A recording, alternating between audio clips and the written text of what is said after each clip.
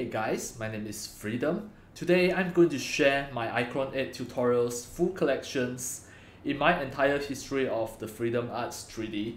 First, you can just scroll down, go to my video descriptions, look at the first link, the tutorial collections of the iClone 8 3D animations. Click into the first link.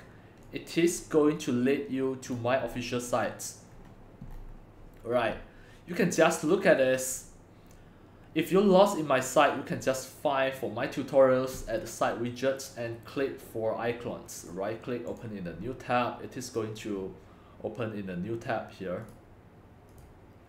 Right, at here, it is going to show all of the tutorials collections of the iClones.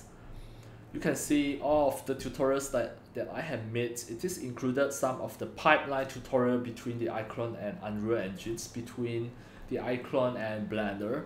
And some of the tutorials are just inside the iClone how to create this, how to create the facial expressions, how to just change different shader type, everything.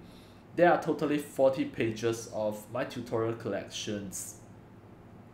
And each of the page it is included 9 tutorials that sort according to the dates and you can see some of the previous tutorials of the iClone 7 as well like Google Map 3D pipeline to iClones.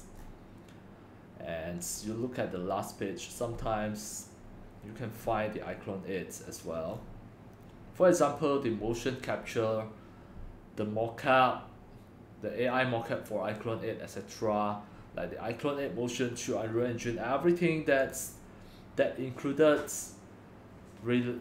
that related to iClone 8. Right, some of the explosion effect included the particle VFX. Right, you can find everything here. It is easier for you to learn.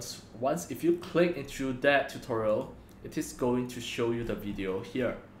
Once you try to play, you can click hey guys, here. this is the beginner. Then you try. You can click here to just maximize it.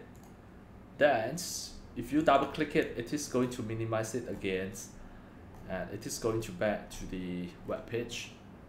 Then some of the necessary resources you can find at the link below. It is really easy for you to follow up.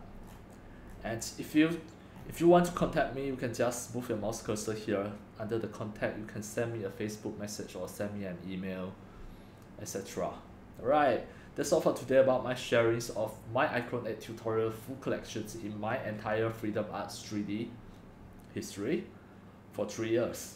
That's all for today, thank you for watching. If you love my videos, tutorials and sharings, if you feel all these tutorials and sharings are very helpful to your 3D modeling, 3D animations and 3D game developing, you can subscribe to my YouTube channel and also turn on the mini bell and select all so that when next time I publish a new video videos, tutorials or sharings, you receive a notification immediately. See you in my next video. Enjoy! Happy 3D modeling, 3D animations and 3D game developing. See you